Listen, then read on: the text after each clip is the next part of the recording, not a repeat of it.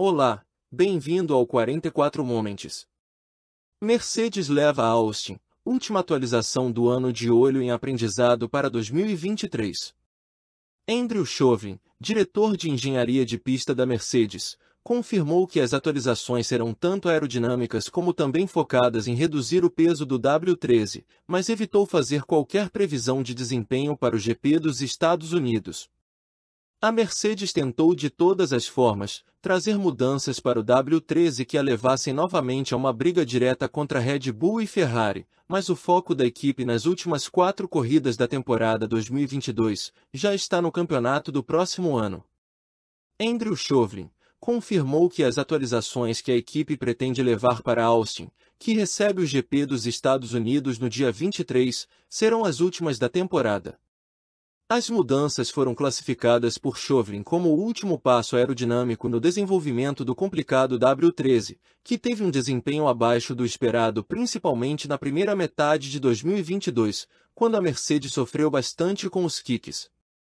Para Austin, o time de Brackley se concentrou na redução de peso do carro.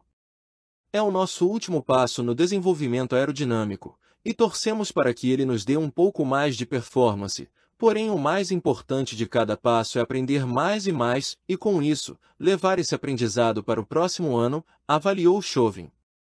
Então serão algumas partes disso, e também há algumas partes que reduzimos o peso de componentes. Esperamos, com isso, deixar o carro mais próximo ao limite de peso, no entanto, que é muito difícil fazer qualquer previsão sobre onde a equipe estará, comparada às rivais. Em Singapura, Lewis ficou muito perto da pole position.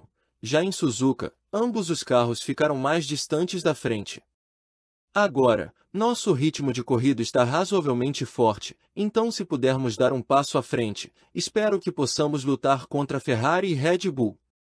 Mas, para nós, é realmente difícil prever a classificação no momento. Como eu disse, muito disso é sobre aprendizado, e certamente vamos dar o nosso melhor nessas últimas quatro corridas. Em 2021, a Mercedes viu Verstappen vencer a corrida americana, enquanto Hamilton terminou em segundo e Bottas ficou apenas em sexto. Chauvelin explicou que o time sofreu bastante com superaquecimento de pneus por conta do asfalto irregular, mas torce por melhora esse ano com o recapeamento da pista.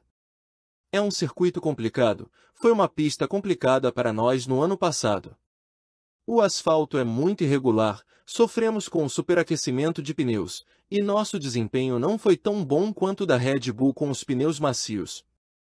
Eles recapearam algumas áreas, então espero que esse problema de solavancos sejam amenizados, mas o que tem sido muito difícil este ano é realmente saber onde você vai estar na pista antes de ir para lá, e muito disso é sobre aprendizado. Não faremos nenhuma previsão, só temos de ir lá na sexta-feira, ver os tipos de problemas que temos e ver se vamos conseguir resolvê-los com a configuração, finalizou Andrew Chauvin. Por gentileza, inscreva-se no canal. Obrigado e até o próximo vídeo.